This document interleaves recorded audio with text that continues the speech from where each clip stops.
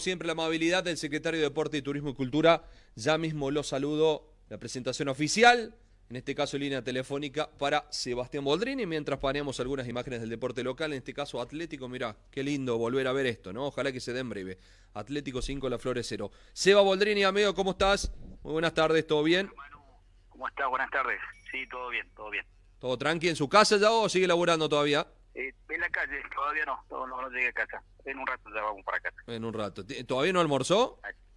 Eh, no, no, no. Yo me acostumbré a comer a las tres y media, cuatro. Así que no horario ya que se me acostumbró el estómago. Claro, con razón. tenga el mate cerca, no hay ningún problema. Bien, con razón está muy flaco Sebastián Bodrín, ¿no? Se alimenta bien. Sí, sí, sí. Pues, no, no, no, no específicamente por la parte deportiva, sino que debe ser por los nervios. Seba, querido, el otro día se juntaron, eh, tuvimos eh, la posibilidad acá de, pasar a Omar Acosta, tuvieron una reunión importante y positiva, según lo que me dijeron los directivos locales. Se juntaron con vos, con Daniel Gómez Gesteira, para charlar algunas cosas al futuro. No me gustaría que explayes respecto a esto, a ver qué, qué temáticas tocaron. Sí, una reunión que teníamos pendiente nosotros con los presidentes de los clubes, si bien mm, estamos en contacto vía telefónica con cada uno, algunos específicamente más que otros porque están con algunos proyectos en camino que habían iniciado previo a la pandemia, eh, y otros que, bueno, también están proyectando más allá de este confinamiento, pero bueno, tienen ganas de seguir progresando. Así que eh, no, nos hacía falta esta reunión este, que tuvimos hace poco, donde participó también el intendente. Eh, un poco para hacer un repaso, un balance de cómo de cómo se venía trabajando y cuáles son las políticas que vamos a seguir ahora en adelante, ¿no? Porque creo que ha cambiado mucho, distintas modalidades de en, todo sentido y creo que era bueno que cada uno nos plantee su punto de vista, por más que la, conocemos nosotros la, realidad de cada institución, pero queríamos por un poquito conocer de, de boca de ellos y también el intendente plasmar un poquito la situación eh, municipal y qué tenía pensado a futuro también con respecto a los clubes. Así que la verdad que fue una, una reunión muy productiva, donde obviamente se han tocado el tema de los subsidios, que nosotros posiblemente esta semana estemos entregando eh, a los cinco clubes que quedaron con, con el programa de la provincia de Córdoba, con la agencia Córdoba, eh, y vemos si esta semana o la otra podemos entregar los este, los subsidios municipales que también lo teníamos en carpeta para, para hacer entrega. bueno, vos conocés muy bien la realidad de los los clubes, eh, siempre a pulmón, peleando el día a día, y más con esta situación donde las actividades están suspendidas ya prácticamente hace cinco meses, algunos pudieron retomar un poco antes, el caso del Club de Remo, el caso de Patín en el Sarmiento, pero en términos generales lo que es deporte colectivo eh, viene con, con, el receso, eh, obviamente también hemos tocado ese tema, nosotros ya hemos mandado una nota a la agencia Córdoba solicitando eh, la posibilidad de que comiencen a trabajar con el entrenamiento individual los deportes colectivos, el caso del básquet, el vóley y el rugby, que son los tres eh, colectivos, y el fútbol obviamente, pero el fútbol ya hubo un anuncio previo, que vamos a ver si la liga, si como bien decía, si todo se mantiene o si mejora, la situación no empeora, eh, ya tendría una fecha como para retomar a la, la práctica de lo que es el fútbol. Y no restaría el resto de la, de la disciplina que también está ahí en carpeta. Lamentablemente eh, es como que siguen apareciendo casos, la situación no, no es que va mejorando, pero también hay una necesidad eh, física y psicológica de, de todos los, chicos, los más chicos, los que de mediana edad y de los que están en entrenamiento no de alto rendimiento, pero de, de, mediano rendimiento que ya necesitan el entrenamiento. Eso te iba a decir. ¿Cómo haces, cómo tomás la decisión de habilitar, no sé, por ejemplo, por decir, porque ya están, se está hablando mucho de la natación y el boxeo, ¿cómo haces vos habilitar cierta disciplina sabiendo que el pico de contagio sigue, ¿no? Que hubo seis casos antes de ayer, cuatro, y ahora se han sumado tres más acá en Carlos Paz. Eh, em, Seba, te, me pongo en tu cabeza y debe ser medio complicado. Sí, es una situación difícil, ¿no? Porque si bien en el ánimo de, todos, nosotros que nos gusta el deporte, siempre queremos y vamos por más de que, se pueda flexibilizar, y también por una situación económica, hay, hay personas que, que viven de, de, una actividad económica deportiva que necesitan de manera urgente comenzar y reactivarse, el caso de los gimnasios, de las canchas de fútbol 5, que necesitan de manera urgente por una cuestión económica.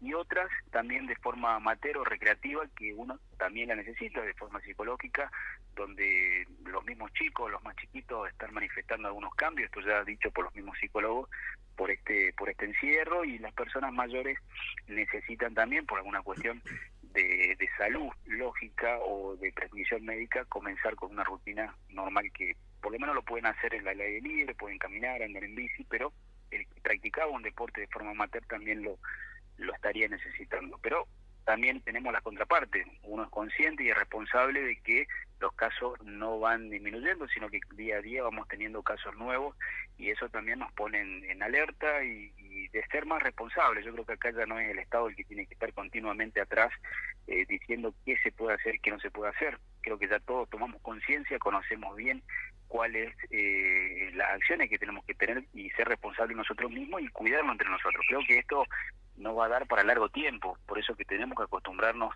eh, a esta nueva normalidad y empezar a cuidarnos entre nosotros.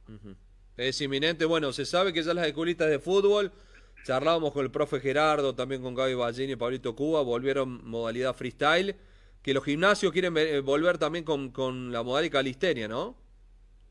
Sí, Sí, lo que es eh, las escuelitas lo hicieron con la modalidad freestyle, que eso está aprobado por el COE. Eh, nosotros hemos hecho la resolución también, donde hemos adherido, eh, con un protocolo que, bueno, yo lo pude ver, lo pudimos estudiar bien. Eh, siempre esto recomendándolo y nos hemos juntado con tanto con el Gaby Biagini, Pablito Cuba, con Gerardo y con otros profes más que dan que tienen escuelitas, donde nosotros pedíamos la responsabilidad de ellos en cuanto al cuidado de los chicos. Yo creo que también el padre que manda pide eso, ¿no? De que se cumpla ese protocolo con el distanciamiento, que cada uno manipule su propio elemento, que no lo comparta. Y bueno, bajo esos protocolos comenzaron con esta disciplina. Los gimnasios, obviamente, también con el protocolo de calistenia, que ya lo aprobó el COE a nivel provincial, pudieron arrancar. Simplemente, bueno, hay también lo mismo que le decía a los profes, lo que acá hay que ser responsable. Gimnasio que no cumple con las medidas que, que plantea el protocolo, eh, no debería estar trabajando. Eso es una cuestión lógica porque puede perjudicar al resto. y, yo creo, y está la, la, provincia, la provincia está haciendo controles muy exhaustivos sobre el que no esté cumpliendo, están cerrando, clausurando algunos, eh, algunos lugares, eh, por la cuestión, obviamente, sabemos que no podemos comenzar a trabajar normalmente, tenemos que ir de menos a más y esto lleva la responsabilidad de cada eh, dueño de gimnasio o comercio que tenga de, poder cuidarse en ese sentido. Pero sí, muchos ya han abierto en la modalidad de calistenia, que es una disciplina eh, muy antigua para el que conoce, pues se puede trabajar en suelo, se puede trabajar con barras, pero también cumpliendo el protocolo que es eh, al aire libre, ¿no? Y lo que es cancha de fútbol 5, si se nivela un poquito el pico de contagios, ¿existe alguna posibilidad de la apertura?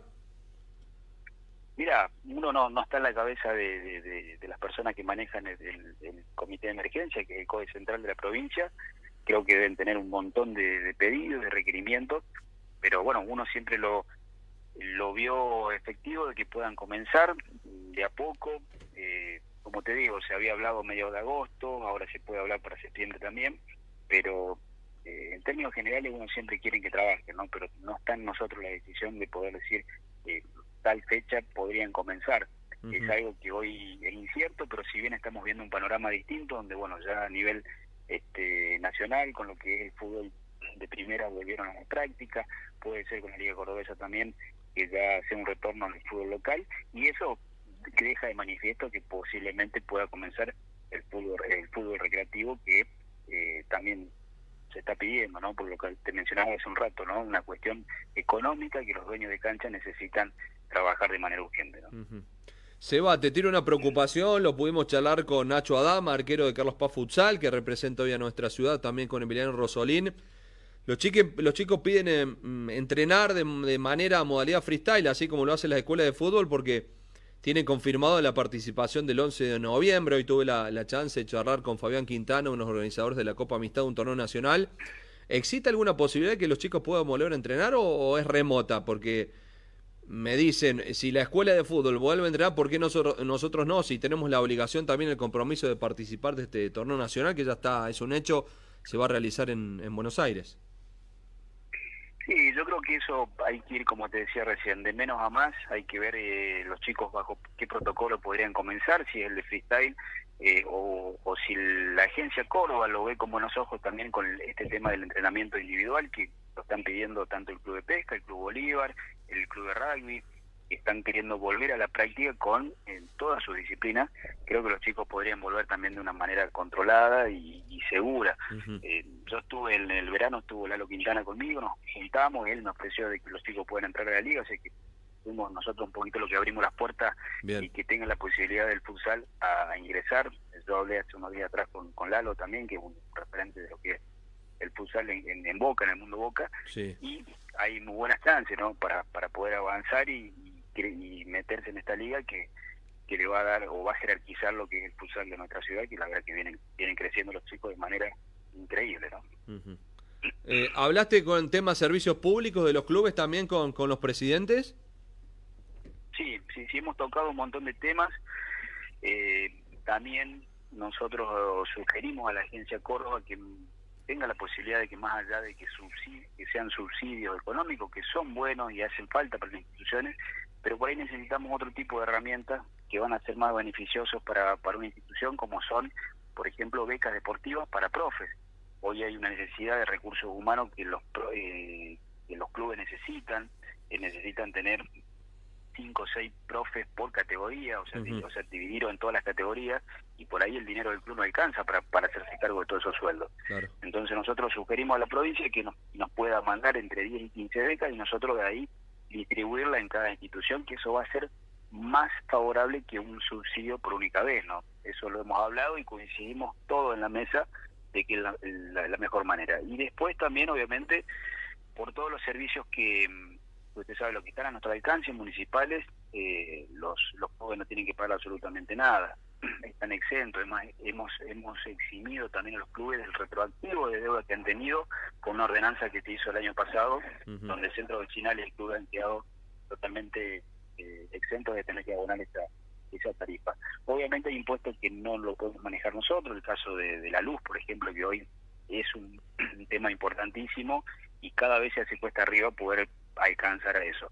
Nosotros hemos solicitado también eh, una reunión de PEC sin, sin resultado y la verdad que bueno, lo estamos canalizando a través de la agencia de Córdoba, de si puede tener un poquito más de fuerza para ver qué se puede hacer. No, no sé si eximirlo, pero sí por lo menos tener un descuento considerable para que el club pueda subsistir en estos tiempos.